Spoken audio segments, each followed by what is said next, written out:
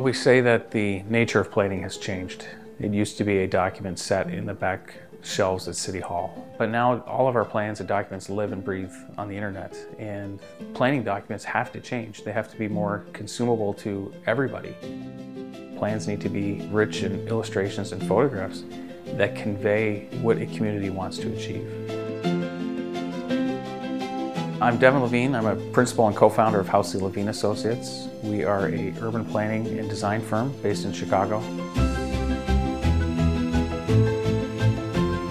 I started using SketchUp uh, back in 2004 um, and it's been an integral part of our workflow ever since. We've probably taken on every firm in the country, big or small. A lot of times we beat out the big architecture firms uh, in the United States and a big part of it is the look and feel of our documents and the graphics. Uh, and SketchUp has played a big part in that.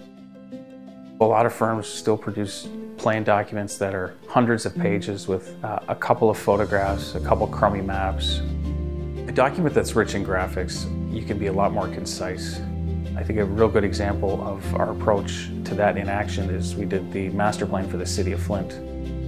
As part of this plan, we established, we call them place types. And so things like a green neighborhood where you have agriculture mixed with residential, mixed with parks and schools. You could have probably written about six or seven pages of that in the Imagine Flint master plan. It's two pages. It's one big SketchUp illustration and a couple of paragraphs that talk about what's going on in the scene.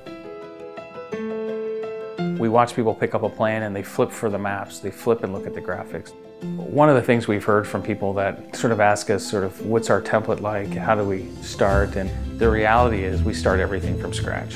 There's no template, there's no standard colors. Every day is different, every project is different. While maybe a workflow is standard, the output, there's no standards here. Um, just we, it has to be good.